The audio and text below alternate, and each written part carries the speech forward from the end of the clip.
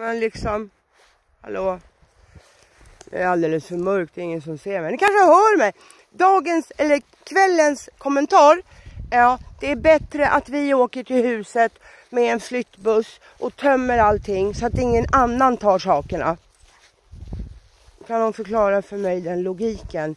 Att jag åker och stjäl alla saker så ingen annan stjäl dem. Nej, jag får inte ihop den logiken. Nej, jag stjäl inte saker, jag är nämligen inte kriminell. Eh, aftonens andra kommentar var en kvinna som visade en film. Hon hade halvgrimma på sin hund. Eh, Eller en grimma över huvudet på hunden. Och lägger man ut sånt då får man påhopp och arga kommentarer.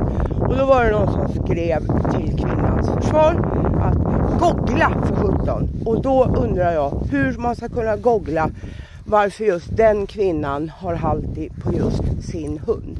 Det var aftonens två intressanta kommentarer. Eh, återkommer med fler roliga kommentarer. Eller hur Bea?